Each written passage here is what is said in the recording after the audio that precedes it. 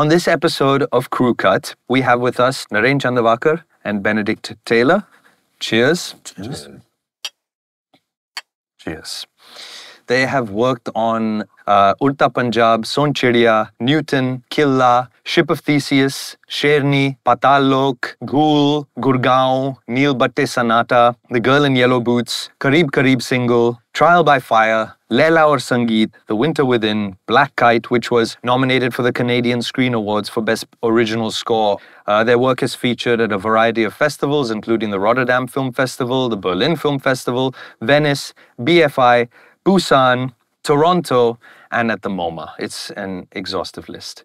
Uh, separately, Naren has worked as a sound designer on The Disciple, as well as done the sound design and composed uh, for a variety of plays. Benedict works as a violist and a performer and lecturer. He's composed for plays in London at the Royal Court, amongst others, and as a sessions musician with the likes of Aphex Twin, uh, Madness, Belle and Sebastian, Jimmy Page, Donovan, and Jarvis Cocker. Good to have you guys on the show, guys. Good to, good to be here.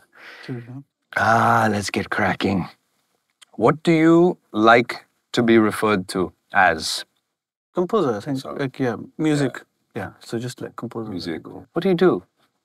What is film music? It's in the name, isn't it? Yeah. yeah. Says it all. Yeah. Says it all. So as like a film, as film composers, you're responsible for all the m- music in a film or a series. That's not the songs. So usually that that might be handled by you know a different team. Sometimes it's the same team, but we usually do what's just the score. Um, so that's everything apart from the songs in say something like an Udta Punjab or something like that. Okay. Um, we're involved at different stages of the project. It depends on you know uh, how well we know the director, how or what what stage we're brought on. Um, but ideally, what would we like? What the process we most enjoy is when we come on at a script level, and then we're on board from there up until the last final deliveries for post, which is with final mix and when the film finally gets finished. So through that process, you're sitting with the director, with the producers, and um, primarily with the director. And um, at a script level, you're trying to find what the uh, musical identity of a film or series is. Um, and usually, what we try and do is at that point in time, try and find what, you know, what the what what the music is what the role music has to play in that mm. in that project. So at that point in time, we usually try and um, come up with a musical language for the entire thing and a musical mm. world, like a setting for it. And the idea then is that the director would have that to show their actors or to listen to while they're shooting, mm-hmm. and then also later at the editing process start to use that in the edit. Okay, so then let's talk about how you pick a project. So, uh, do you pick projects based on the script? Do you pick it based on the directors? Do what, what's your process? Yeah. So it's like places where you see that feel like you could be of value, basically Yeah. to a working process, and it's something that excites you and interests you. And What's your oral experience as you read a script? Is it uh, do you do you wait for the conversation with the director to kind of even start playing around with those ideas, or do things just naturally come to you as you're reading? I think both both can happen. I mean, I think things can naturally, from any any trigger point in life, things can come to you musically and can start to to function in your mind as to what what a certain way of working with music might might work for anything. Can be really depends on the quality of the script as well. If you're reading a very interesting script, it's very engaging and it's moving, you're moving with it, and it works very easily with you, you know, or it challenges you in some way. Then it's going to have if it engages you like that, it's going to have an effect. For me, definitely, an interesting script can have an effect like that, where you'll be thinking of ideas un- subconsciously. I mean, Yeah. unintentionally. you know. Not that they necessarily have to make the film. yeah, will ever get realized, but Right. you know, give you colors and, and spaces that would would work. yeah, You I know? think yeah, like first impressions are really important. So Yeah. you end up being quite. Uh, at least for me, you end up being like quite sensitive to what you're feeling. So even if it, if, even if it may not have an immediate musical realization, um, it's also just experiencing a story for the first time and you're meeting all these people for the first time right? And so while you're doing that you're you, you have this very strong and usually quite visceral reaction that then can it's that, that's something you quite often return to when you're trying to think of what the musical world for that mm-hmm. film might be. Mm. And so that's many things. That's like okay reading the script and thinking okay structurally this film has okay is it a overall narrative kind of approach? Is it like a character based approach what, what how is this film how is that hmm. script structured? So what kind of musical structure will complement that you know? Hmm, hmm, is it like a psychological thing where you're in with the people at the same time or is it something where you're stepping back or is it something where the music has to grab you and take you or is it something where the music's kind of invisible and just following people around? Is it Yeah. very dramatic or is it very subtle? So immediately while you're reading it you get these ideas of how the script uh, functions. And so then you start thinking about how music could function in that. And also you just get an idea of like how it makes you feel. And then Yeah. you, you kind of feel like that becomes a touchstone, especially with the first impression of like, okay, I want the music. The music has to feel like it belongs in in this in this in the same world. With how that script made me feel. When you're writing the music, you're also thinking, is the music doing the same thing? Is it feeling like it's the same? You know, Yeah. because film is ultimately like a direct. I mean, it's a writer's vision as well, but it's also like a director's vision. So you have to. Um, everything has to come together and all these disparate departments have to come together and feel like they connect to one thing. And many times that anchor is the script as well as what the director's vision of that is. So you have to have while you're always talking about a director and they're talking about what how they see something that first impression and that first emotional reaction, reaction when you read something is also quite important. So So, if we take Trial by Fire as an example, directed by Prashant Nair, you guys had mentioned that you wrote something for it pre mm, Mm, them ever Yeah. going on floors. Yeah. So, how did y'all negotiate that song? How did y'all come to that song? I mean, that piece of music. So. yeah There's a lot of discussion, yeah and we knew each other. yeah we, we well. worked on a- Yeah. a, a project before that and so they're very inter- well and interestingly informed musically. They have a lot of ideas of their own and a lot of a lot of choices that they like to make and and playing with a lot of interesting musical areas. And so we knew them, and so we could we could have a lot of very free and easy discussions about what might be required and and and also and look for what might be needed for this kind of potentially providing one piece or maybe more in, in some cases, but in, in this uh, situation, one piece which they would have beforehand as our response to the script and to the discussions. yeah Um, so that's quite an easy process in, in, in at least triggering off how we go into the writing, yeah the writing process. I think it's not a concern, but one thing that we wanted to be quite careful of with Trial by Fire was that since it was a show, and right right from the first episode, you're jumping into like this very serious like amount of grief. You know, it's quite mm. like it's deeply tragic about these parents who've lost their two children. Right. Mm. The music was really going to set that emotional landscape, and what was something that we wanted to really be careful of was that that grief didn't really feel like something very slow or that we felt it invoked a sense of pity for the characters. Uh, but No rather, wallowing. yeah, there was no wallowing, Zero like wallowing. sadness. Yeah, yeah. So You didn't want to invoke pity. not not in a Not in a wallowing not in a wallowing kind of way, but like more a like a marsh or a swamp. You yeah, don't that it feels like That's sad and you're spending for- this, you know, really. So the Yeah. deep. So the idea was more to focus on like the more propulsive qualities of grief. Hmm.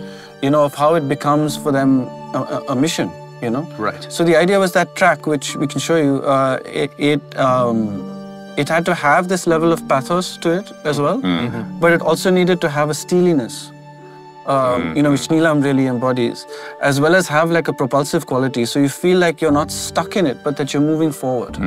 Right. You know. Right. Um, I mean, when I was watching Trial by Fire, the way I wound up writing it down is that she had the clear blue clarity of grief, the ice blue clarity of grief, Right. which Yeah, is yeah. a single mindedness. Yeah, yeah, yeah.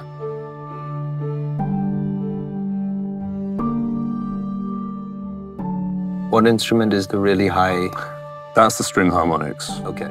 and that's what gives you more like emotional kind Yeah. of like Right, yeah. quality. Romantic. It is Romanticism. mournful, but Romanticism, also scything. Yeah. Yeah. Yeah. So that's what it's not like you're not like that wallowing, it's not like very lush, it's like there's Yeah. a coldness and clarity to Yeah. it, you know? Right. I do feel that sometimes I feel manipulated by a score.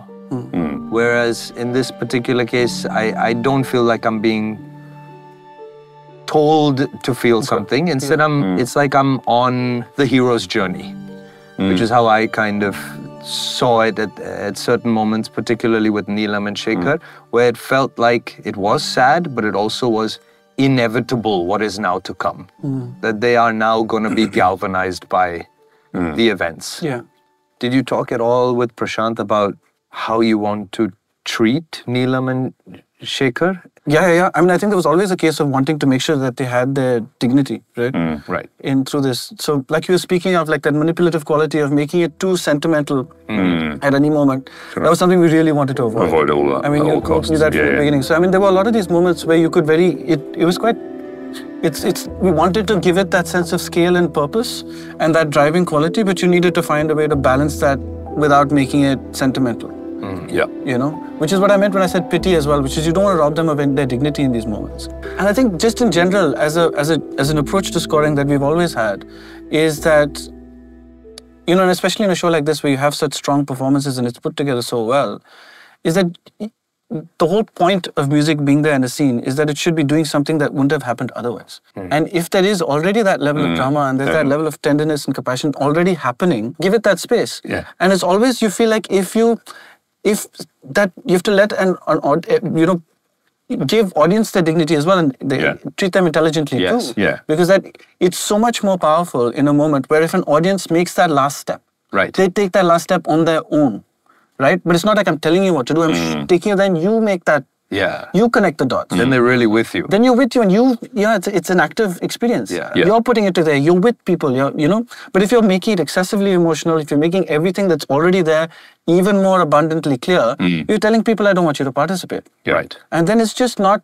You don't. You don't earn those moments when you're watching something. It's not as powerful. You know? Mm-hmm. Yeah. Have there been times where you have to kind of find a compromise where you all want to be slightly more subtle, but a director wants a little bit more, or uh, you know? it's- Yeah, yeah. I mean, sometimes it's it's it, what's so great about a collaborative process is it's also sometimes really just quite surprising, where you would have said, okay, no, we really need to. Someone was, you, you might feel, or the director might feel, or you you know, or vice versa, you might feel, okay, this is a moment that you really want to step back from, and someone may have a gut, in you know, intuitive instinct or a gut instinct. To, no, we can really do something special here, hmm. and then you do something and you realize you're And it- wrong, yeah, and, uh, and it well, works. It, it, it, it works, you know. Hmm. So there's definitely that those forays into the unknown, which hmm. also make it quite enjoyable. Right. But uh, Okay, so you read the script. Yeah. You get feelings. You discuss with the director. You have more feelings Yeah. um, and ideas. yeah, yeah. You compose this track through Yeah. those discussions. Yeah. All right. What are the next steps? In the in the overall In uh, this particular case, this was a pre. yeah. Which is actually quite unusual. Uh, i mean Yeah. we, try and push for that as much as we can because the normal process which happens which is what we try and avoid as much as possible is um, even if you may have had these discussions and you may be aware of what's coming is usually then after everyone's you know shot whatever they're shooting there's, there's the editing process. And then while they're editing uh, and putting the editors or editor and the director working together and they're putting everything together then they usually use what's called temp music, hmm. which they use existing pieces of score or music or songs or whatever from that that have been made before, and they edit with that to give both the editor feeling the right kind of pace as well as the right kind of feeling and and you know for those specific moments. Hmm. It may not have. Sometimes it has an overall language which is built in with the choices of pieces, but sometimes it also just might be whatever piece works for that particular moment because it's got the right kind of mood and it's got the right kind of pace. So then once that that rough cut or that edit has happened with those temp pieces of music in, then it comes to us. Um, we watch it with the director either in terms of scenes or you watch it as a full film or a full episode or whatever it might be. And then you have another discussion because you've obviously felt things can change quite radically, or at least change in some way or shape and form from what it was like on the page to what it is like in, you know, since it's been shot and then finally once it's edited. What you do is usually what's called spotting, which you watch the entire episode or, or film and you decide where music should be. Okay, these are the these are the places which need music, and then you discuss what should be happening and what you'd like the director would like or what we'd also feel the music should do in that moment and then through that you try and put it all together and, and build like an overall vision or structure for the entire um, thing which uh, which might be okay we need um, which you'd be talking about like things that we just discussed, which is like the musical language. What is the mood of this entire thing? Like we've discussed here, um, and also like what is the structure for this? Uh, what kind of music comes where? Do we want very different kinds of music, or do we need just one kind of music, or do we need many kinds of themes? Are the themes going to be character based, where you're following an individual around, or they're going to be more like narrative based, where you're following how the whole story comes together? Hmm. And usually you try and avoid the temp as much as possible and throw it out and forget it. But what can unfortunately happen in a creative working process is that if there's been a piece of music that's just been put together with a visual for a certain amount of time, hmm. they just start to fuse. Hmm. You know, hmm. so then it can be it can be quite a challenging process because also maybe the edit's been constructed in a very specific way around a specific piece of music that's quite in, idiosyncratic. So if you want to get that edit structure working the, in, in exactly the same thing, you you have to take maybe even just the tempo or something from that mm-hmm. piece of music that's the same. Otherwise, the edit will not work. Hmm. So we try and make that process as symbiotic as possible, where either there's a chance for the edit to hmm. change a little bit after whatever we may have done with the music, or, which is what we've done earlier, is that you compose the music prior. So that then, like, which is what happened with Trial by Fire, this piece of music was used in the edit Right. in many in many places. I think in 2001 A Space Odyssey, he just never took away his temp tracks. Was it 2001? Yeah, No, I believe so. No, it was also The Shining, uh, where he did the same. And with The Shining, he he'd got uh, Wendy Carlos on board, Yeah. and uh, and he'd got all this Penderecki Yeah. and all of this in the in the uh, in the ref, and he just he couldn't uh, he Let couldn't go. part he couldn't let go of it. So he- Yeah. they didn't use much of the Wendy Carlos score. It's Yeah. mostly that. Yeah. And actually, Kubrick was not a very nice man. Yeah. He didn't pay for any of this. So the Ligeti and everything, Yeah. even though Ligeti said like he loved how the music was used in 2001, Yeah. it's like I didn't get paid. Oh, no. No, No one he didn't license it. Oh. Yeah, if I'm not Okay. mistaken, I checked Okay. it. But yeah, yeah. I did know- until much later it got sorted, but Kubrick just went ahead and did it. yeah, I know in 2001 the composer has come to the film realizing that none of his music is in it and he's just gone with all the temp tracks that he had put there as placeholders. He just loved them too much. He just got too used to them, like what you're saying. Like I mean, the yeah, it works really well with Kubrick, but yeah, Yeah. Uh, but yeah. Yeah. At least tell him so he doesn't turn up. You know what I mean? Don't let me turn up. So, so we were along the steps of ah. the process of making it, right? Mm. You read the script, you talk with the director, you sometimes compose music mm. prior, sometimes not, depending on the project mm. and the relationship with the director. Do you collaborate with anybody else during the pre-production stage? Not usually, but we're trying to do as much of that as we can. Um, again, it, we just find that usually these things help inform some choices directly and some more, some you know indirectly. So, like for example, on Trial by Fire, we've uh, um, there were many things that happened that were really different from from a lot of other projects. One is how we set up the project, which I think we'll talk about in when we're looking at a scene specifically as well. But the idea was to try and separate how sound and music, you know, usually siloed off in a working process. So even though they both contribute to the entire aural landscape of a project, um, they usually uh, we don't usually really meet each other until um, the final last stages of a project. So like you'd mentioned, there's the pre-production, uh, there's the shooting, there's the editing. Then there's the post-production that starts, which is that when it comes to us, and at the same time it comes to us, it usually goes to the sound design team then we're usually working at separate points in time. So we're composing the music and they're doing all the sound design, which is like cleaning up all the dialogue, as well as adding all the effects and ambiances and foley and so on and so forth.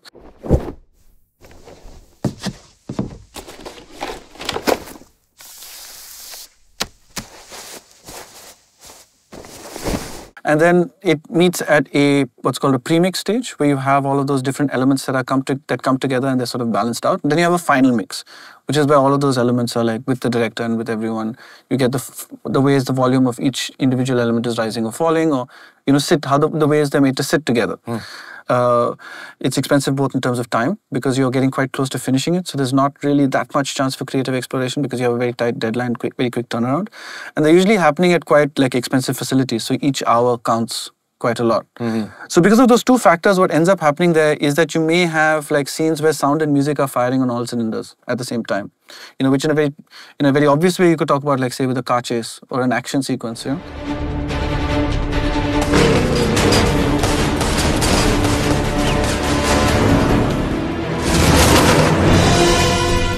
Or in more you know subliminal ways smaller ways it could be even just how you realize in the overall pacing of a thing when all these elements have come together because when you're listening to music on its own it's a very different experience. Even if you have like a very rough sound design to when the whole sonic landscape is full hmm. you may have an emotional moment with a character that works beautifully without music right? Or you because just the way the ambience and the way everything else is happening the way the whole sound design is added to that scene says everything you already need to say. So maybe you need to tone down that piece a whole lot. Hmm. Or the opposite you had a scene which was which we, suddenly when everything's come together is not quite holding and you might need some music there for whatever reason. So what we tried to do with this project is right from the, the get which is before we even started uh, you know even before the film started the, the series started shooting sound and, and, and music were one team so Anirban, who was the sound designer, and Boloy, who was the mixing engineer, we all had pre-production meetings where we all were already talking. We got like an idea of what the, how the show was going to be planned. We had an idea of we were already thinking about how the timeline of the whole show would work, but also all the creative discussions. And then in this room, uh, which is a final mix room, we we were composing as well as uh, doing the sound design at the same time. So we'd work separately from each other, but we'd every day share material. So there was no surprise moment of mix. So the idea was to try and say, okay, instead of mix being this last process where we already we meet and very quickly have to take these decisions together, let's start seeing how these uh, these uh, different elements intermingle and interact right from the get. You know, so they're always mixing. So if there's any moment like the scene that we'll go through later, which is the opening of, of the, the first episode, where you have a lot going on, you can find really subtle ways where you can start exchanging one hand from the from you know one thing to the next. And in that process, we knew, for example, that we were we were before we started shooting. Um, Somo Saumyananda Sahi, who shot the series, and Prashant gave us the entire lookbook. So we had an idea of like even the visual color Palette, yeah. palette of the of the show. And these things are great to like to let percolate earlier because you get even when Oh, we're yeah. writing we're, we're writing that theme, you know what it's going to look like. You know the colors of the show. Right. Even if you don't know um, what the visual shot breakdown is or anything like that. Yeah. You know what the the, the, the character, the vibe is. You know what the approach is. Yeah. So huge. there's Yeah. there's when you're when you hit the ground running when you're all together, everyone's on the same page. Everyone's like you know all the departments are like thinking the same thing. Yeah. Um, and then even while they were shooting, I think a big challenge that Somo spoke of is like because they were shooting period in Delhi, and sometimes you can't get you can't quite get the locations or the places or you know.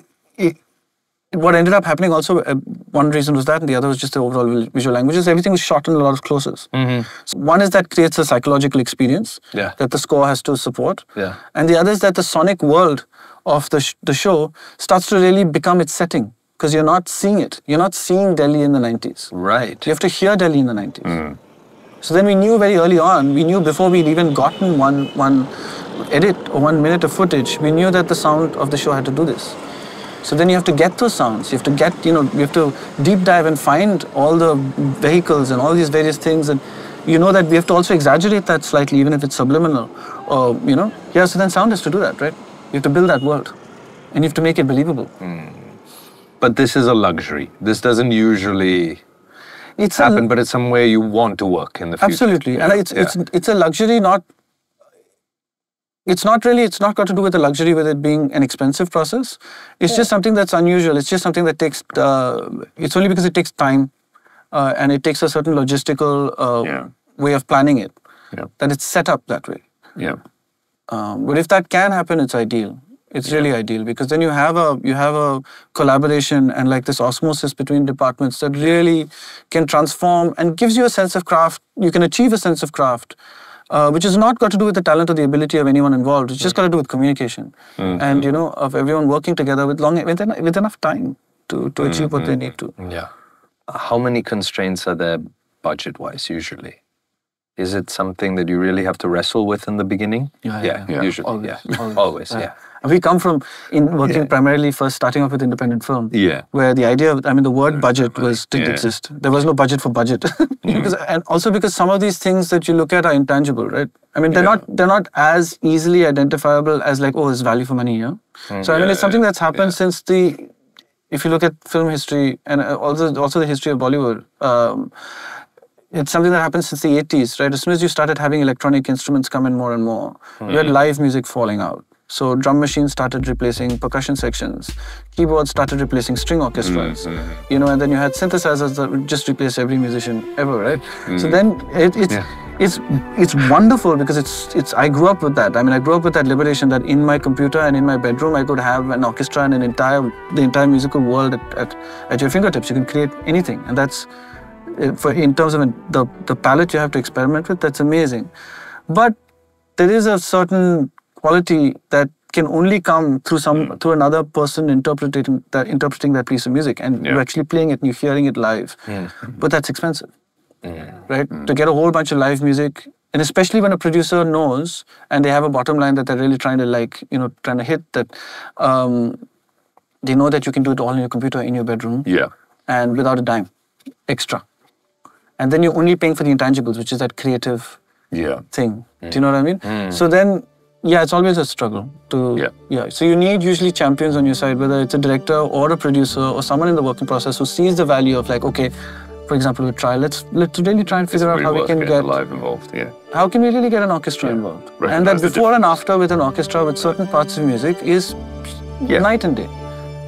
Right, and I guess it adds that other thing that you were talking about, which is the raw human quality of people feeling their way through it. Yeah. And what that brings that is different from just sitting, I I guess, at a laptop and designing it. Yeah. yeah. It's that, and it's it's it's the the breadth of and quality of sound. It will just be different. You know, if you, if you you can you can mock up a a 50, 60, 70 piece orchestra, hmm. can sound fantastic to some extent with software, but it won't sound the same as 50, 60, 70 piece live orchestra. You know, just because of real people playing it, acoustics, how it works, how it works when it instruments, yeah. records, the instruments, the instrument qualities, all the different instruments that you're recording, all the different microphones and, And it's also- placing, the whole.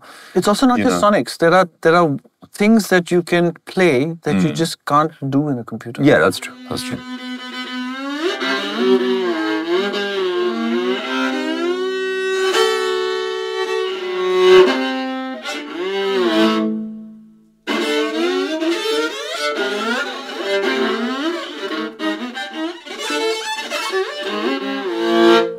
There's a there's an articulation things. Yeah, that's yeah. just not Absolutely, there yeah. in your instrument. In fact, to be very honest, you can only get a really quite a small fraction of the way towards what you can do on the instrument. Okay. With most software, you you can't get close to how you can manipulate a, a wooden instrument from, from my experience, I think. Okay. You can't get really close. They have really good, there are really good ways of working with software, but it doesn't, the, the, the, the liberation of having real hands on the strings mm-hmm. is another thing entirely. You know? Right. And there's a reason why people spend 25 years studying to be a violinist or whatever they do, you know, Yeah. because they can do this and you can't, you know, you've hmm. got a s- a, a- you got a, a finite number of options with your mm-hmm. software.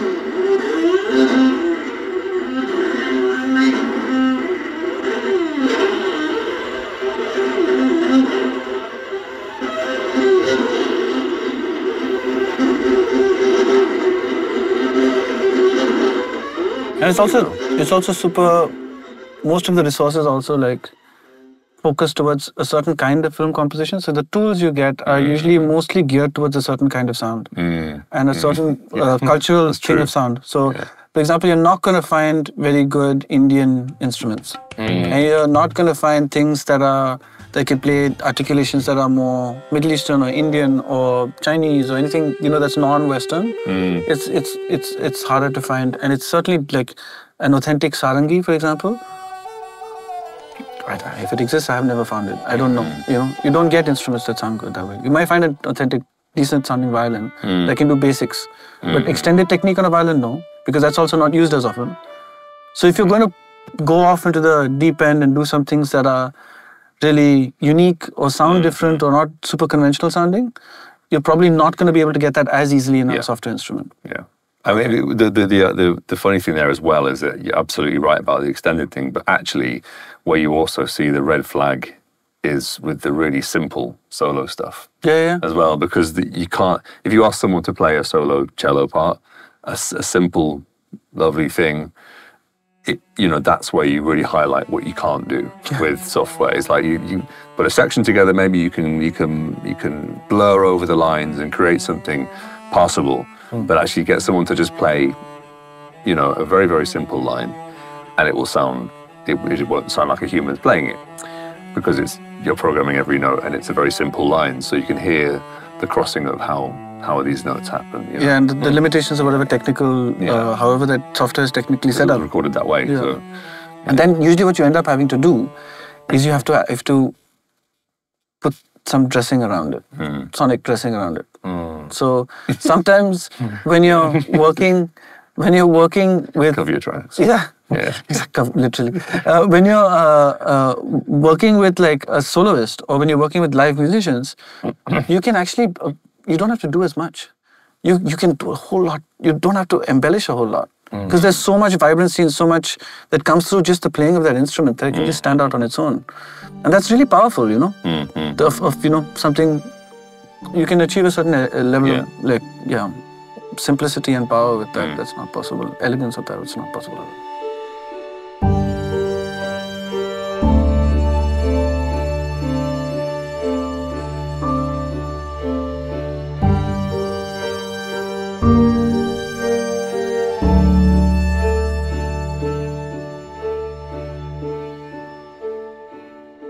How do you decide instrumentation?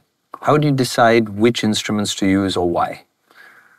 Um, I think that varies depending on where you land with your chats with like a in that that pre decision making discussion. I mean, the, the the thought process like with this, like you were talking about with the kind of blue um, steel steely kind of idea of clarity here. You know, we fell down to a place which references something like a baroque or classical um, sacred work, like a like a, a chorale or a, something from a Stabat Mater or a requiem. And in, in a lot of those works, you know, you can find these moments of extreme clarity with strings and voice. You know, okay, very clear-cut parts and harmonies. And it wasn't that, that this is based on a sacred piece of music, but it's more like referencing what those pieces of music do, which kind of give you that um, there's an element of, like Naren was saying, like, of potentially of sadness and pathos, whilst having determination and clarity and focus, extreme focus. Mm-hmm. So this, the string parts in here are all very still. There's no vibrato. Mm-hmm. There's no playing around with the string parts. They're absolutely clear cut. Quite high. Yeah, and very high and very, and that's it. You know, and they just do this. They do what they're supposed to do, and they repeat, and they carry on. And that was quite deliberate. There's no, there's none of this kind of lush, you know, right. idea, which nothing to do with historical musicali- m- musicology, like coming a century later. But so it's not to do with that. But it's definitely to do with uh, a sort of clarity that we were thinking about. And there's a steeliness that comes from harmonics Yeah. as well. Yeah, absolutely. Yeah, sort of a crystal thing. Okay. If you're layering all of these tracks together, like just now, there were two different strains of piano happening simultaneously. Mm. Yeah. So just tell me a bit about that process, because I really know nothing. You start layering, don't you? Yeah. Yeah, I don't know. You, you start. It's like putting things on top of each Yeah, other. yeah. It's like painting. You put Yeah. various things on one, then you add something else. Yeah. So what software do you usually use? Oh, for writing, it's usually Logic. Okay. But it could be anything, really. And then for the layering, it all happens within Logic? Yeah. Yeah. Okay. So what other equipment is required in order to produce, let's say, this scratch track? This was then like you have some software at work in certain instruments, which So you uh, have what's uh, called yeah, a DAW or like a digital audio workstation. Yeah. Which could be what we have in the background, which is Pro Tools, which is our final mix for this project. Okay. Or you have Logic, which is like a more, Hmm. it's a compositional kind of tool. Okay. and then in this in this particular track to just get a just like a rough demo idea some of it was happening in real time as well as layering some of your digital work because I have access to string instruments is putting stuff down. So mm. then obviously you need a microphone and a sound card and you just sit down and go mm. and start. If you, uh, you do that through either knowing what you're going to write already or you mm-hmm. can do that through experimentation and discovering as you go along. Mm. Yeah. So that layering process can go many Very different. ways. yeah. Can go through a process of like oh, complete experimentation of like, Yeah. oh, why don't I throw this? Or let me Yeah. just, you can challenge yourself you- and say, yeah. I would normally put a piano here. Hmm. In, in this case, that made a lot of sense. But in, in another case, I might be like, I would normally put a piano here, but I'm going to deliberately challenge myself and do something else and Yeah. see by by going stepping off into something unknown what happens. Or it hmm. could be like, no, this is I know that this track needs strings and this and this and this. so Yeah. I'm going to stick within that wheelhouse and find the various colors that I might need to. Hmm. So you- I mean, I think you try and find many ways for that process to be interesting for yourself and sometimes it's hmm. dictated by what you want to experiment with on that day what you're feeling what the subject matter is. Hmm. It's also i think you know like say with, with this piece or anything else also sometimes you get an idea in early chats which we might have or you have with the director or anything like that of like this is the musical universe i want to set something in. Hmm. And that has a precedence right? Because then okay i want to make a funk track. Or no i want to make a chorale. Or you know reference you know Yeah. masses and requiems and things like that that have been written in the past. So then you know that there is each of those different musical worlds hmm. have a language of their own. They have a style of their own. So you know that okay, hmm. if you're writing a you know a, you know a funk track, it's Yeah. gonna have this kind of harmony. It's gonna have this kind of bass part. It's gonna have these kind of horn parts, maybe uh, these hmm. kind of drum parts. So then you know that okay, you're building on the shoulders of whatever you may have liked or find interesting. Or I'm gonna put these different genres together. So there's also like a conceptual underpinning that you're Yeah. using as a as an anchor or a reference. It's like how many times I'm sure you felt this as well. Like when you walk away from a film, hmm. there's one thing that sticks with you sonically with that film, hmm. right? Because it just feels like it connects. Hmm. So whether you're, I mean, I mean, very stereotypical examples would be like, you know, everyone remembers those high strings from Psycho Yeah. or something like that. So you want to find something where that musical identity for that moment just feels like it could be nothing else. Hmm. Hmm. For that film, for that project, it could be no other clothing but hmm. thi- this music, you know? Right. Um, so it's that impending sense of doom in Jaws, right. right? Uh, you know, any of these things that, okay, this all, all the floaty, ethereal sense of the evangelism in Blade Runner, you know? Um, Each one of, or like, you know, how classical music is used in um, Apocalypse Now. You know, like any of these things, you can't, anytime you hear that piece of music, it's forever associated with that, true. with those images. Mm-hmm. And the same thing is when you watch that scene, you'll always hear that music. So Yeah. the goal is as a composer is to try and say, okay, what is that perfect meld for you, for everyone, for all collaborators that it's speaking to the soul, to the characters, to the larger narrative world, to the thematic mm-hmm. ideas of what the film's trying to portray. Like all of those just kind of like fuse completely and perfectly. For example, if I am uh, up and coming or I want to be a composer and I'm younger, right? I, I look at the setup and I think, wow, that's like leagues ahead of me. So, w- is there anything you have to say about starting out and the kind of equipment you had then? Yeah, yeah, for sure. I mean, actually, even when I started out, I, used to, I was quite obsessed with, uh, you know, especially with film, which is such a large enterprise. I was thinking that you'd need all of these things to sound good, and you'd need all of these various plugins and this various stuff. And unless I had X, Y, Z, I wouldn't be able to make ABC and so on and so forth. Then, if, despite, I mean, this is a this is a final mix studio, so obviously there's a lot of other things. But when you're just composing, you actually don't need anything. Uh, you just need you need a, a way to play back video and your audio at the same time. So you need a DAW that can handle that, a computer that can handle that DAW, which right now can be almost anything. And yeah, uh, uh, there are some pieces of software that you need that are better suited towards video. You don't have to use them, but they might help you, like Logic or Cubase or so on and so forth. Um, and you just need plugins that can make sound and a way to make sound out of those plugins. So if you're a keyboard player, it might help to have a keyboard, but you don't need that either. If you're an instrumentalist where you'd like to record yourself, then you need a mic and a reasonably quiet place to record or work in. Um, and that's that's kind of about Yeah. it. Yeah.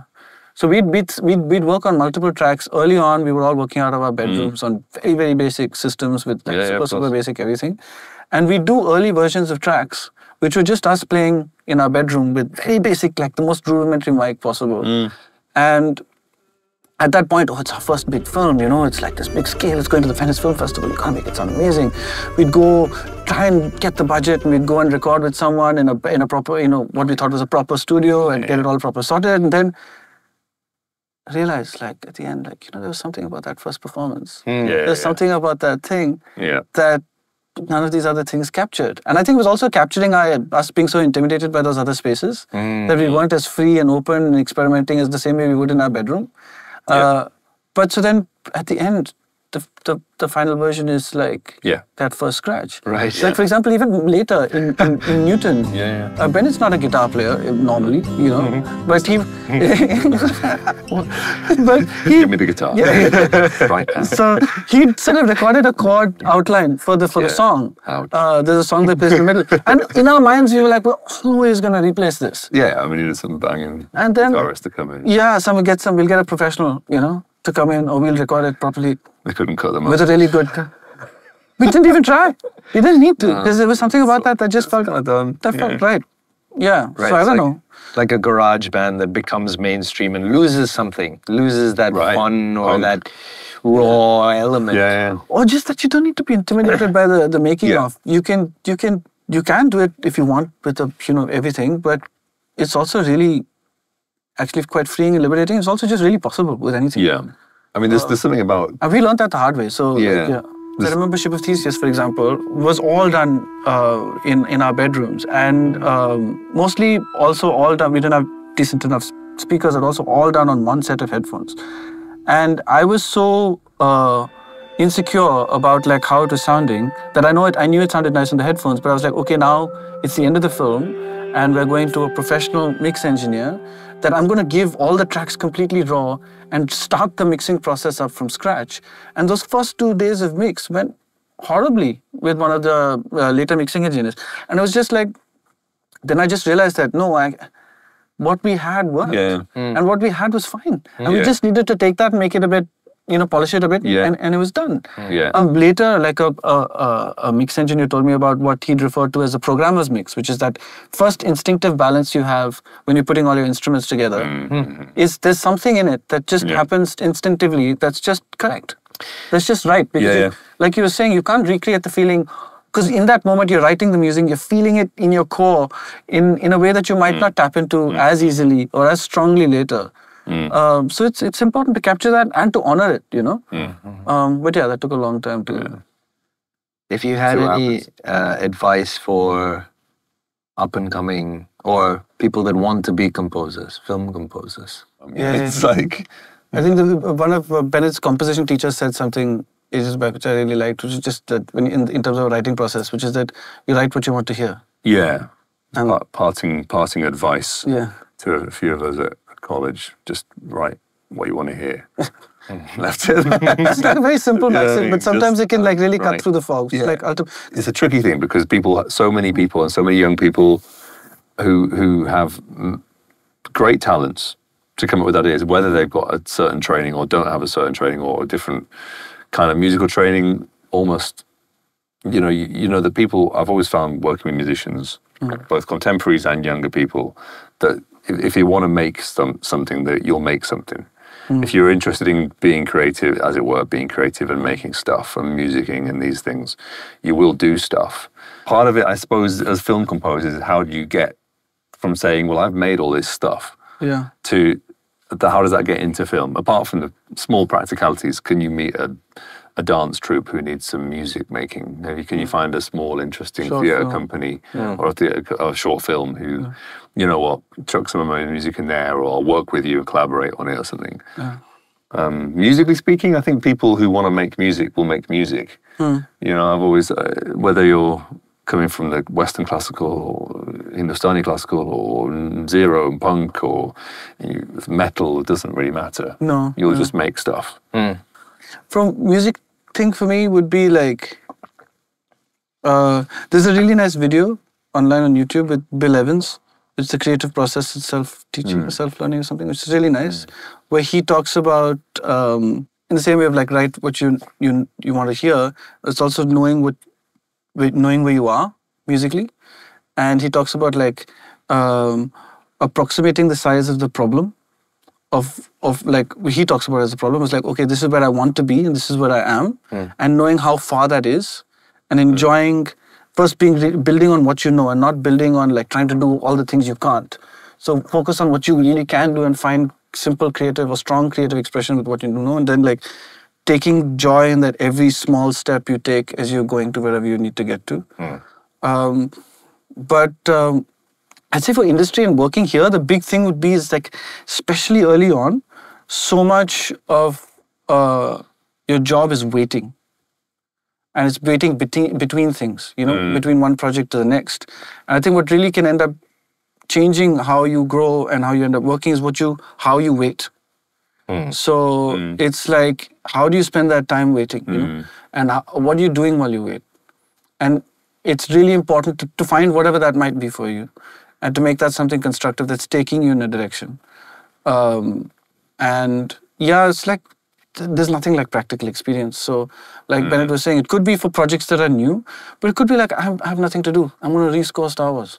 Hmm. I'm just going to take Star Wars and just make my own score for it, whatever, or take this ad, or whatever it is. And also, like, I know I'm really, really solid with orchestral music, but I don't know electronic music at all. So I'm going to do Tron. You know, I'm going to do like a mm-hmm. techno score now for this film. How do I do it? I don't know. Let me find out. Oh, I, I- the other way around. But just finding fun ways to challenge yourself so that also when that moment comes, you're not rusty. You know, you've been working. And mm.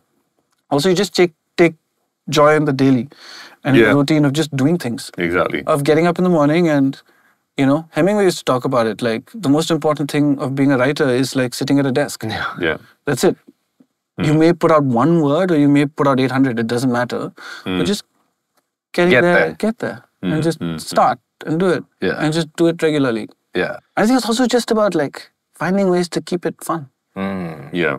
you know like there was this really nice interview with uh, uh, Jamie Lidell and Amon Tobin where they were talking about Amon Tobin was talking about gear and so many times people like everyone like everyone who likes equipment gets into this thing of whatever gas or whatever gear acquisition syndrome or like loving buying pieces of equipment or mm-hmm. this new little thing and many times it's vaulted as like oh this analog thing has a filter that sounds better in this specific way and Amon Tobin was like it's also a toy mm. and there's also like a kid, it's fun to have new toys. Mm. Yeah. And it's fun to have things to play with. Right. So whatever that might be for you, just like having might not mean buying and spending money on things or Yeah. whatever, but what what it, how do you keep that sense of play and fun? uh, Exploration. exploration always like new for you. It might change. One day it might mean one thing, one day it, several years later it might mean a completely different thing, but I think it's always important to try and find some way to keep that alive. It has been absolutely lovely talking to both of you, gents. Look out for the deep dive that they're going to do on the opening of Trial by Fire and look out for the rest of their work. Cheers. Cheers.